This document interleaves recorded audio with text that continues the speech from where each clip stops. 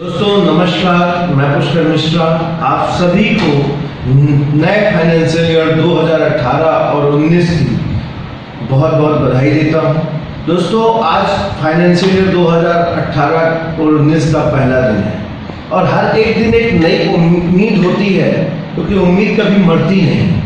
उम्मीद पे दुनिया कायम है।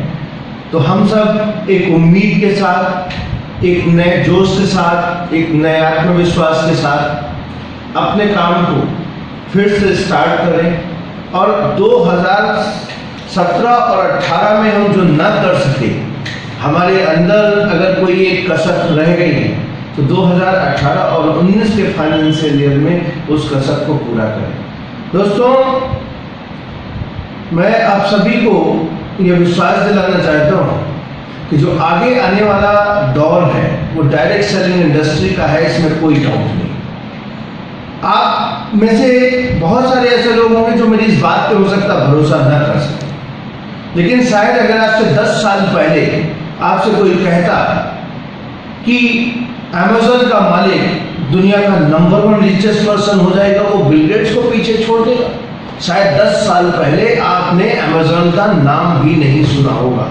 लेकिन आज अमेजोन दुनिया की नंबर वन कंपनी बन गई। बिकॉज़ उस अमेजोन ने बदलते हुए ट्रेंड को समझा। आगे आने वाला जो दशक है, वो दशक डायरेक्ट सेलिंग इंडस्ट्री का होगा। मेरा आप सभी को ये कहना है कि इस उभरती हुई, बदलती हुई इंडस्ट्री को समझने का ये जो मौका है आपके पास, इसको जाने मत दो। और डोंट इग्नोर अगर कोई आपको डायरेक्ट सेलिंग इंडस्ट्री के बारे में बताता है तो आपको मैं रिक्वेस्ट करता हूँ कि एटलीस्ट आप उसको सुनो। अगर आपको लगता है कि साहब, इसमें से कोई ऐसी चीज़ है जो आप इस्तेमाल कर रहे हो तो आप उस चीज़ को डायरेक्ट सेलिंग इंडस्ट्री के बंदे से परचेज करो। मैं गारंटी के साथ कह सकता हूँ कि वो बंदा कहीं ना कहीं से आपका जानने वाला होगा। अगर आप अपने जानने वाले की मदद कर देते हो, कुछ सामान खरीद के, इसमें क्या बुराई है?